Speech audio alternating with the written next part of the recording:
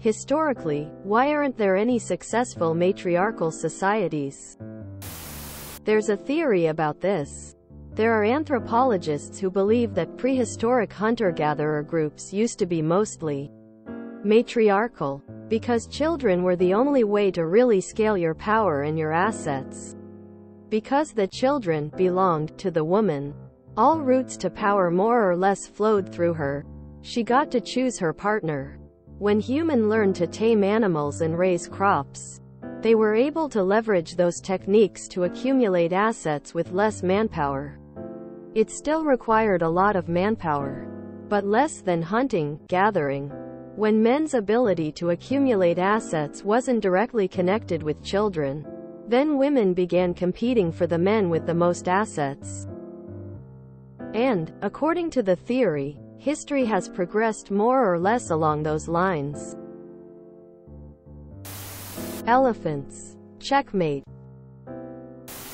The Iroquois of the northeastern U.S. were a hugely successful Native American tribe and were a flourishing matriarchal society. They were a band of six tribes who valued matrilineal descent and women played a large role in decision-making for the entire tribe. Not to mention their territory spanned both northeastern US and southeastern Canada too. They are purported to have invented lacrosse. The sport. The only real reason why they sunk is just like every other story involving colonialism. Even then they have maintained quite a bit of their culture and were pretty good at adapting to the times. The indigenous community I work in was matriarchal and matrilineal. Since colonization it's become patriarchal but as the women are running the show more and more the community has been becoming healthier. There have been. It's just been a few 1,000 years. They just lost wars and died out. All great empires fall. Case in point Rome. There were tons of successful matriarchal societies. A quick Google search will tell you this. Where the hell are you getting your information from? There were quite a few actually, but then Europe happened.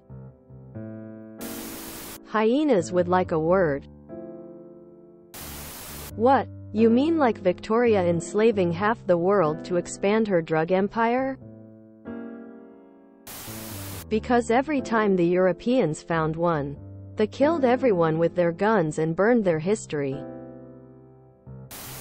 I would argue that there has been many throughout history and we assume they are patriarchal due to the face being a man. But history has taught us a quote that seems to be very true when you read personal journals of leaders and their wives. That quote goes, behind every great man, there's a great woman. You mean like the Mosuo? There have been but they've lost wars and aren't around anymore, kinda. Not due to being matriarchal, but to, to not having access to good iron mines for a few hundred years to advance their warfare. Tech or to have weak sparring match wars with neighboring countries to gain power before launching full-scale invasions of further away countries to colonize. In certain countries, on specific social strata. They are very matriarchal. I want to say some Eastern countries and stuff like Pakistan. Correct me if I'm wrong. There are, it just isn't as common. Palau is an example. GIF. I'll say that this is two things lifestyle and interpersonal relationships. Hunter-gatherer societies were often matriarchal I believe most of the member states of the Iroquois Federation were. Although I'm going off memory. The key to survival is knowing where to be and when the tendency of women to think more along the lines of the big picture meant they knew this stuff. Conflict with other groups could be remediated by moving away sometimes.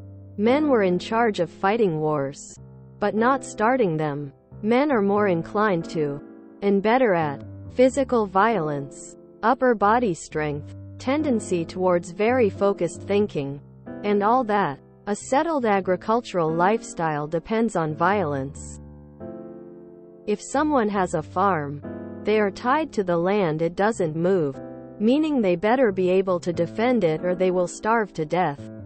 The more land you control, the stronger you are so someone's always after the farm.